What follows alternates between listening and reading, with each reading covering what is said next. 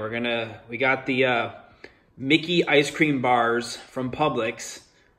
And Connor and Cheryl here are going to do the official taste test. So are you ready, Connor? Yeah.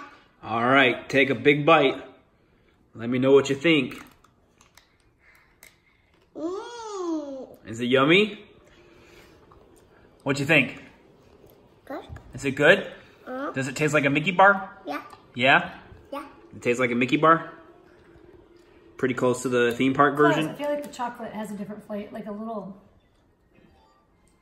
It's a little different. Yeah.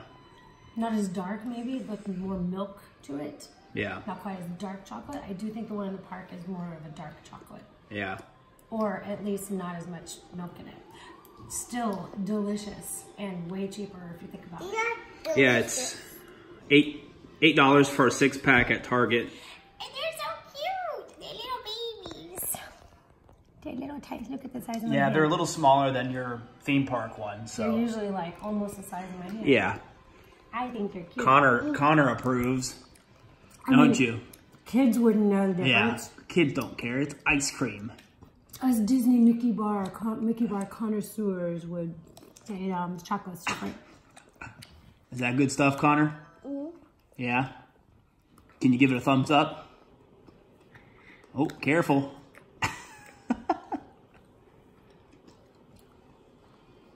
Good, but does not taste exactly like the. The theme park ones, yeah. Nope.